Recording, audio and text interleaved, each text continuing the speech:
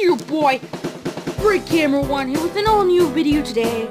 Today, guys, well, today's been a little bit of a different day today. So I just finished school, so it might be hard for me to do videos next week. So I'll get the hang of it. So man, I'm out of breath. So guys, today we just got a new update. You can see on the bottom right here, on bottom, on the bottom right here on 1.0.9, we got the newest update ever.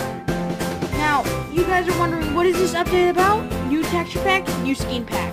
So guys, we got the new Greek mythology texture pack. Oh look, I wonder that, no, they don't come So look guys, we got the, no, I don't want magic.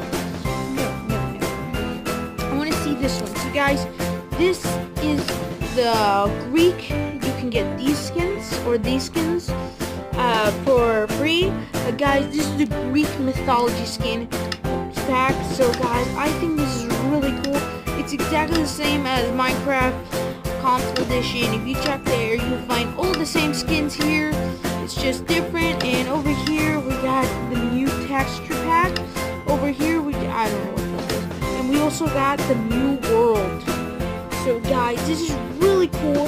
I really suggest you should get it. They're making so many.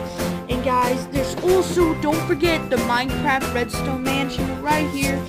You guys see right here, right there. New Minecraft Redstone Mansion, guys. So guys, I think that'll have to wrap today's video. And don't forget, this is version 1.0.9. Guys, I hope you enjoyed this video. And I'll see you next time.